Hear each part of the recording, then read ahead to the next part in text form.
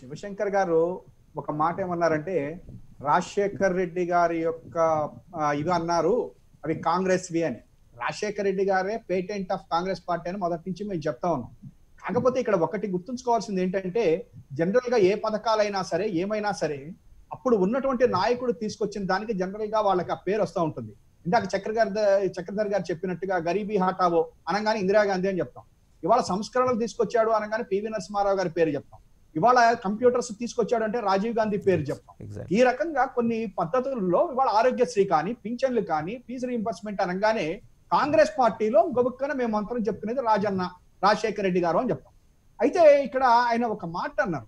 ఏమని చెప్పానంటే నేను ఏమని చెప్తున్నానంటే ఇవాళ పథకాల్ని ఇంప్లిమెంట్ చేయాలి. ఇట్ ఇస్ కంటిన్యూస్ ప్రాసెస్ అది దాంట్లో ఇవాళ జగన్మోహన్ రెడ్డి గారు ఆ పథకాలు తీసేసుకున్నంత మాత్రాన్ని నుంచి అదేదో డొల్లా లేకపోతే రాజశేఖర రెడ్డి గారి ఎత్తుకెళ్ళిపోయాడు అనేది కరెక్ట్ కాదు.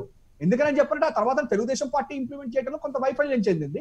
ఆ తర్వాత వచ్చినటువంటి జగన్మోహన్ రెడ్డి గారు దాన్ని భుజాన్ని వేసుకుని వెళ్తా ఉన్నారు. ఇంకొక మాట ఆయన ఏమంటున్నారంటే నూట నాలుగు నూట ఎనిమిదిలో నేను దయచేసి ఒక మాట చెప్తా ఉన్నాను. ఇవాళ ప్రతిపక్షం మేము కూడా ఉన్నాం. ట్వంటీ ఫోర్ అవర్స్ అవినీతి అవినీతి అని మాట్లాడటం అనేటువంటిది ప్రజలు ఎంత మటుకు తీసుకుంటున్నారు అనేది మీరు ఆలోచించండి ఇవాళ రోజున. మేము కూడా అదే ఆలోచిస్తున్నాను నేను కూడా ఇవాళ రోజున. ఇవాళ one not four one not eight ఎంత మటుకు సక్సెస్ అవుతుంది? దాన్ని ఏ రకంగా సక్సెస్ చేసుకోవాలి అనేటువంటి దానికి ముందుకెళ్ళాలి తప్ప మీరు ఇవాళ కూర్చున్న. ఇవాళ రోజున భారతదేశ ప్రధానమంత్రి గారు పోలవరం ఏటీఎం ఏటీఎం చంద్రబాబుకి అన్నారు. ఇవాళ రోజున వాళ్ళ జలవనరుల శాఖ మంత్రి వచ్చేసేసి అక్కడ అవినీతి జరగలేదు అని చెప్పంటే తెలుగుదేశం పార్టీ వాళ్ళందరూ కూడా అవినీతి జరగలేదు చూసారా అంటున్నారు. ఇది ఇవాళ రోజున దురదృష్టమో అదృష్టమో?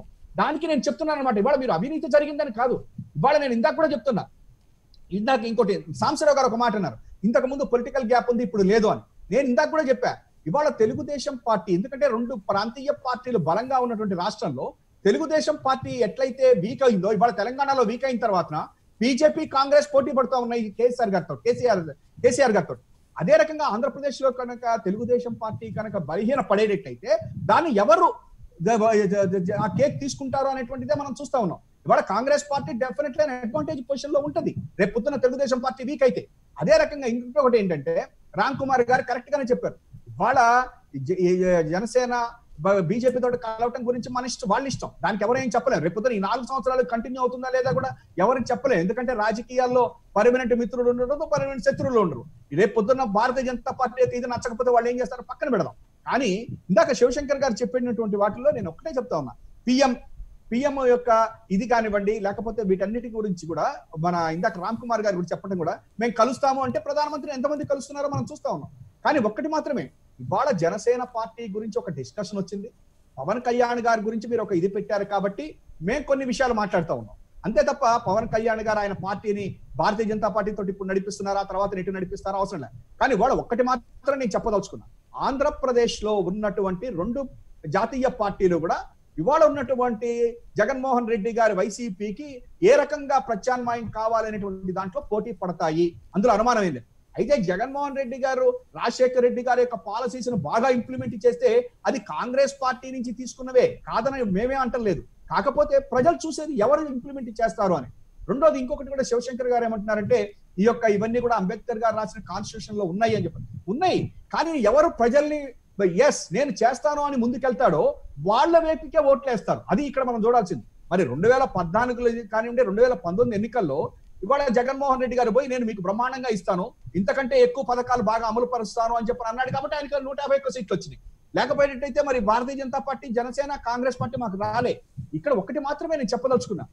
మీరు ఇవాటి రోజున జనసేన అనేటువంటిది ఒక భారతీయ జనతా పార్టీ తోటి కలిసి వెళ్తా ఉంది. ఇందాక రామ్ కుమార్ గారు చెప్పినట్టు వాళ్ళు దర్శకత్వం వహిస్తారు ఆయన యాక్షన్ చేస్తారు అని చెప్పి ఆయన క్లియర్గా చెప్తా ఉన్నారు. వాళ్ళకేమన్నా బాగా బ్యాకింగ్ మంచి సంస్థాగతంగా భారతీయ జనతా పార్టీకి ఉంది. నిజంగా చెప్పాలంటే ఎస్ డెఫినెట్గా మంచి సేవకులు మంచి uh, స్ట్రాంగ్ వర్కర్స్ ఉన్నారు. డెడికేటెడ్ కమిటెడ్ పీపుల్ ఉన్నారు కాబట్టి దాన్ని పెట్టుకుని శివసేన సారీ జనసేన పవన్ కళ్యాణ్ గారికి ఈజీ అవ్వచ్చు. అంత మాత్రం నుంచి మనము జనసేన యొక్క ఇదిని నేను ఇది కానీ ఒక్కడే మాత్రం మీ నాయకుడు లేదంటే పవన్ కళ్యాణ్ గారు నేను సీఎం అవుతా సీఎం అయితే ఇవన్నీ చేస్తా అంటేనే తప్ప ప్రజల దగ్గరకు వస్తారు తప్ప ఎంతసేపటికి కూడా నేను సామాజిక సమాజం ఆ, చేస్తాను అని అంటేనా ఎన్జిఓ అని నడుపుకోమంటే? అయితే భారతీయ జనతా పార్టీ మీ పక్కన ఉంది కాబట్టి డెఫినెట్గా వాళ్ళు ఒప్పుకోరు. కాంగ్రెస్ పార్టీ మాత్రం వి వాంటెడ్ పవర్ ఎందుకు పవర్ కావాలంటే ఏదో మా కోసం కాదు. ఒక బాధ్యతగా తీసుకుని ప్రజలకు సేవ చేయగలుగుతాం. వాళ్ళ రోజున జగన్మోహన్ రెడ్డి గారు నేను ముప్పై సంవత్సరాలు సీఎం అవుతాను అన్నాడు కాబట్టి ప్రజలు నూట యాభై ఒకటి ఇచ్చారు. ఆయన కూడా కనుక నేను ఏదో సమాజాన్ని ఉద్ధరిస్తా ఏదో అని చెప్పానంటే ఆ ఒకటో ఐదో వచ్చేవి ఆయన కూడా. So people will believe the leader డెఫినెట్గా నేను మీకు చేస్తాను అంటేనే అంతే తప్ప లేకపోతే ఇవన్నీ కూడా జరగవు. ఇంకొకటి కూడా నేను చెప్తున్నా. ఇవాళ ఇందాక శివశంకర్ గారు కొన్ని విషయాలు మాట్లాడుతూ ఉన్నారు. నేను ఇవాళ ప్రతిపక్షంలో మీరు మాట్లాడటంతో ఆపేస్తా ఉన్నారు. నిజం చెప్పాలంటే మీ చేతుల్లో ఇవాళ భారతీయ జనతా పార్టీ ఉంది కదా? మరి ఇవాళ రాష్ట్రానికి కావాల్సినటువంటి విషయాల్లో మీరు ఎందుకు ముందుకెళ్ళలే ఎంతసేపటికి కూడా మీరు మాట్లాడుతున్నది నేను తప్పుపట్టట్లేదు సార్. దయచేసి డోంట్ మిస్అండర్స్టాండ్ మీరు ఇవాళ ఇసుక గురించి మాట్లాడారు బాగుంది. లేకపోతే ఇంకొక వన్ నాట్ ఎయిట్లో ఇది మాట్లాడారు బాగుంది. ఇవాళ రోజున ప్రత్యేక తరగతి హోదా గురించి పాచిపోయిన లడ్డు అన్నటువంటి మన నాయకుడి గురించి ఇవాళ భారతీయ జనతా పార్టీతో కలిసినటువంటి మీరు ఇవాళ తీసుకురండి. ఎస్ ఇదిగో ప్రత్యేక తరగతి హోదా. నేను ప్రధానమంత్రి నరేంద్ర మోడీ గారి దగ్గర కూర్చుని ఒప్పిస్తున్నా. తీసుకొస్తున్నాననేమనండి మేమంతా కూడా సాల్యూట్ చేస్తాం. ఎందుకంటే వాళ్ళ కాంగ్రెస్ పార్టీ ఇచ్చినటువంటి హామీ అది. ఇంకొకటి ఏమంటున్నానంటే ఇవాళ కేంద్ర ప్రభుత్వం చెప్తా ఉన్నది. కొన్ని నిధులు రాలేదు అని చెప్పని చెప్తా ఉన్నాం. అవన్నీ మీరు తీసుకురండి. ఇవన్నీ మనం మాట్లాడాలి కానీ ట్వంటీ ఫోర్ అవర్స్ కూడా ఒక పార్టీని అధిక ముఖ్యంగా నేను ఎందుకు చెప్తున్నానంటే ప్రతిపక్షం పాత్ర ఎంతసేపటికి అధికారంలో ఉన్నటువంటి వాళ్ళని డిస్టెబిలైజ్ చేయటం కాదు. ప్రతిపక్షంలో కూర్చున్నాము అని చెప్పంటే అధికార పక్షం ఒళ్ళు దగ్గర పెట్టుకుని పని చేయాలి అనేటువంటిది కావాలి. మీకు బాగానే తెలుసు ఇంతకు ముందు మా రోషయ్య గారు కానీ మా జూపూడి యజ్ఞాయుడు గారు కానీ లేకపోతే వెంకయ్య నాయుడు గారు కానీ వీళ్ళు మాట్లాడుతూ ఉంటే ప్రిపేర్ అయ్యి రావాల్సి వచ్చేది. శాసనసభకు శాసన మండలికి రావాలంటే మంత్రులు కానీ ముఖ్యమంత్రి కానీ చదువుకుని ఎందుకు ఏం అడుగుతారో అనే భయంతో వచ్చేవాళ్ళు.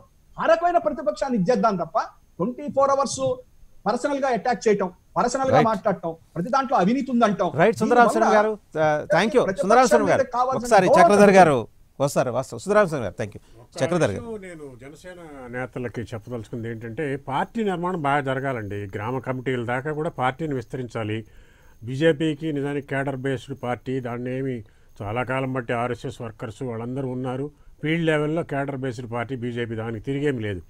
జనసేన కూడా వాళ్ళకి కేడర్ ఉంది కనుక నువ్వు క్రౌడ్ పుల్లర్ కనుక అనేటువంటి దీంట్లో ఉండకుండా గ్రామ స్వతంత్రంగా. పార్టీ నిర్మాణం స్వతంత్రంగా ఎదగటం. స్వతంత్రంగా ఎదగటానికి ప్రయత్నం చేయాలి.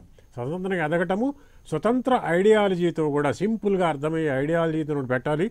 అట్లాగే రాబోయే ఎన్నికలకు ముందు ఒకటి రెండు ఏళ్ళ ముందు కాస్త బాగా పవన్ కళ్యాణ్ గారు బాగా యాక్టివ్గా కొన్ని అవసరమైతే సినిమాలకు కొంత విరామం ఇచ్చైనా సరే ఒక రెండేళ్ళు ఇప్పటి నుంచి అవసరం లేకపోవచ్చు కానీ రెండేళ్ళ పాటు దాని మీద గట్టిగా కూర్చుని వైబుల్గా మనం ఏం చేయొచ్చు మిగతా వాళ్ళకంటే ఏమిటి అనేది. ఇంకా కూడా నేను ముందుకు చెప్పేది ఏంటంటే కరెక్ట్ టైం చూసుకుని రాష్ట్ర వ్యాప్తంగా కూడా ఆయన పర్యటనలు జరపడము రెండు విడతల్లో పర్యటనలు జరపాలనేది నేను ఫీల్ అవుతున్నానండి. ఎందుకంటే ఒక విడత జరిపినప్పుడు ప్రజల సమస్యలు ఏమిటో తెలుస్తాయి. ప్రభుత్వ పథకాలు ఏ మేరకు అమలవుతున్నాయి? నిజంగా చేరుతున్నాయా లేదా? దానికంటే ఒక బెటర్ స్కీమ్ ఏమైనా తేవచ్చా?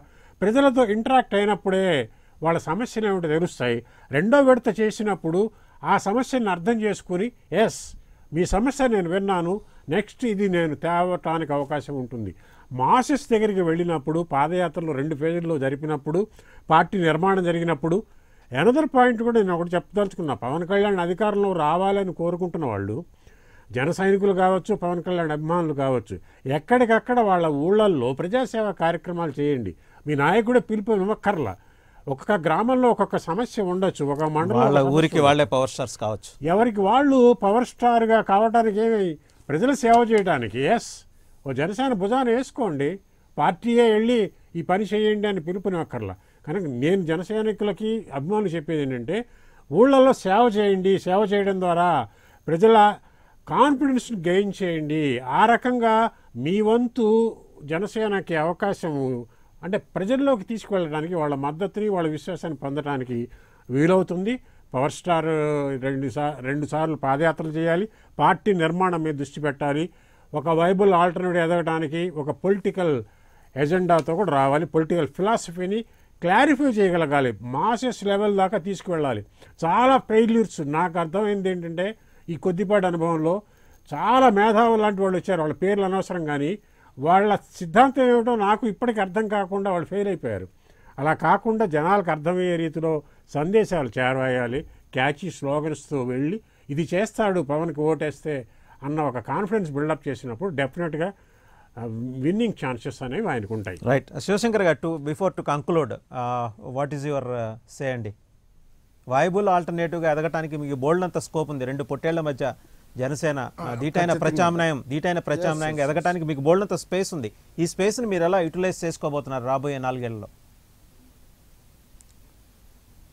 మాకు దీర్ఘకాలిక ప్రణాళిక ఉందండి. ఇప్పుడు పెద్ద పెద్దలు చక్రధర్ గారు చెప్పినటువంటి ఇవన్నీ కూడా పార్టీ అంతర్గతంగా మా దీంట్లో ఉన్నది మా తాలూకా దీంట్లో. ఖచ్చితంగా మా పార్టీ ఏంటంటే చాలా ఒక ఖచ్చితత్వమైనటువంటి ప్రణాళికతో మేము ముందుకెళ్తున్నాం. ప్రజా సమస్యలు నిలదీస్తూ ఇంటర్నల్గా మా క- కార్యక్రమాలన్నీ చేసుకుంటూ వెళ్తున్నాం. మేమైతే అల్టిమేట్గా గుర్రం ఎగురుతుందో లేదో నాకు తెలియదు వాసుదేవ్ గారు. బట్ అల్టిమేట్లీ పొలిటికల్ పవర్లో జనసేన ఉంటుంది. అది ఖచ్చితంగా మేము చెప్పగలము. ఆ కాన్ఫిడెన్స్ నాయకుల్లో ఉంది కేడర్లో ఉంది ప్రజల్లో కూడా ఉంది. రెండవది సామాజిక సేవ సామా సామాజిక సేవ అనకూడదు అధికారం అనాలి అనే దాని దానికి విభేదిస్తాను నేను. ఎందుకంటే సామాజిక సేవ ప్రశ్నించే తత్వం ఇవన్నీ కూడా పెద్ద పెద్ద ఫిలాసఫర్ నుంచి వచ్చినటువంటివి ఇవన్నీ కూడా. ఇవి అర్థం కాక మనం కొత్త భాష్యాల్లో నిర్వచనాలు చెప్తున్నాం కానీ అసలు సమాజమే ఆ రోజు ఎన్టీ రామారావు గారు వచ్చినప్పుడు సమాజమే దేవాలయం అన్నాడు ఆయన. చక్రధర్ గారు చెప్పింది సమాజమే. దేవాలయం గరీబీ fundamentals లాగా జనసేన కూడా ఒక నినాదం పట్టుకోవాలంటున్నారు. శివశంకర్ గారు ఎన్టీఆర్ గారికి ఎన్టీఆర్. గారికి సమాజమే దేవాలయం ట్రాన్స్ఫర్మేషన్ ఆఫ్ పాలిటిక్స్ చేస్తాం. సామాజిక పరివర్తన చేసే దిశగా ఈ పార్టీ నిర్మాణం కానీ నడవడిక కానీ ప్రయాణం కానీ అల్టిమేట్గా గమ్యస్థానం చేరుకోవడం కానీ ఖచ్చితంగా చేర్చుకుంటామని మీ ద్వారా ఆంధ్ర రాష్ట్ర ప్రజలందరికీ కూడా తెలియజేస్తాం uh, all the best Shivashankar గారు. మొత్తానికి మీ గుర్రం ఎగిరే దిశగానే నడుస్తుందని అభిలషిద్దాం థ్యాంక్ యూ డాక్టర్ చక్రధర్ గారు. సాంబశివరావు గారు నమస్తే. రామ్ కుమార్ గారు అలాగే గొట్టిపాటి రామకృష్ణ ప్రసాద్ గారు సుందరామశ్రమ గారు అందరికీ ధన్యవాదాలు.